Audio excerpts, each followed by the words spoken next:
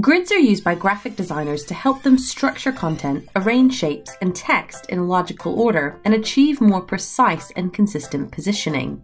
Grids aren't just for designers though. Absolutely anyone can use them. They're particularly good for making presentations look slick, polished, and easier to understand.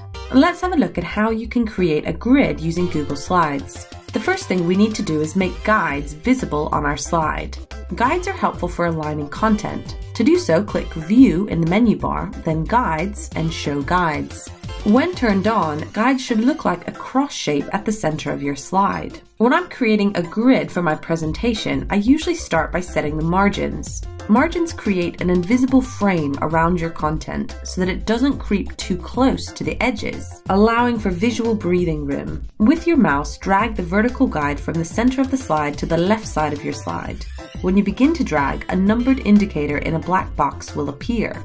I'm using this to position my guide at 0.5 inches from the left edge of the slide. Let's do the same for the horizontal guide by moving it at 0.5 inches from the top of the slide. Now to add another guide, we can right click on one of the existing guides and choose add horizontal guide. As I position it at the bottom of the slide, a blue visual spacing indicator will appear to make sure that the space at the bottom is the same as the space at the top.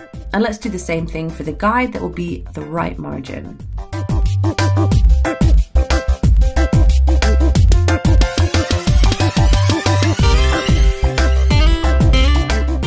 Now, the problem of setting a grid directly on top of the slide like this is that you could accidentally move the guides while adding content to your slide. If you do this, you could easily restore them by undoing your last action with Ctrl Z, but it's much safer to set the guides within the slide master.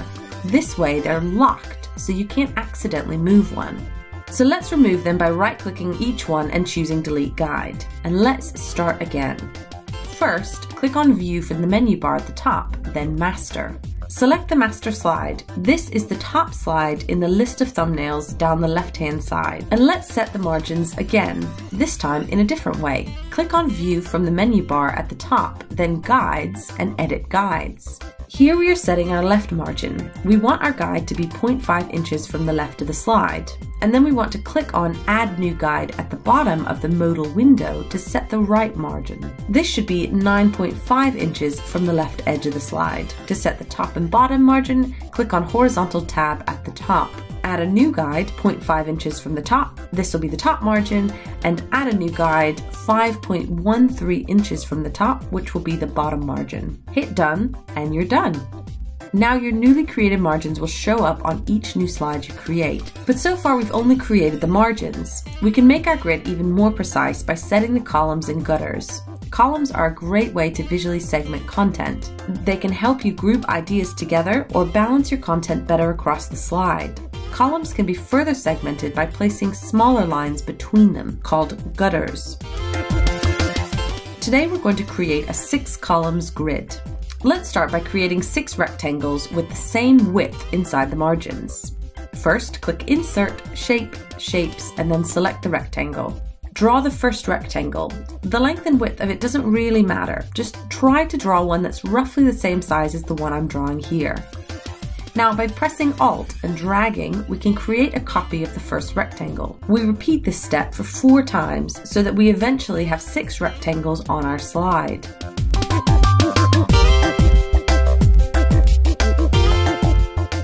Now we need to make sure that they're all spaced out equally. To do this, select all of them and click Arrange, Distribute horizontally. With all rectangles selected, drag them to the left so that the first rectangle is touching the left margin line. Now right click the selected rectangles and click Group to group them all together as one object. Now resize the group by dragging the node so that it will take the full space of the area inside the margins.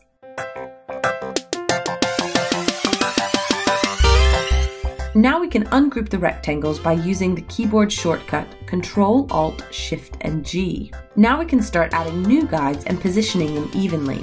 Add a new vertical guide and position it on the right edge of the first rectangle. Add another new vertical guide. We can do it more quickly by pressing Alt and dragging the already existing vertical guide.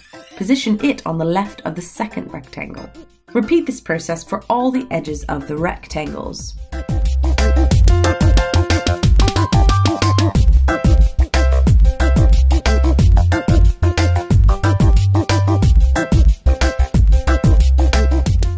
Once you're done, select all the rectangles and delete them. We don't need these anymore. Close the master by clicking the close button at the top right of the slide. All the changes you've made to the master will be automatically saved. The guides are now fixed and our six columns grid is now ready to be used.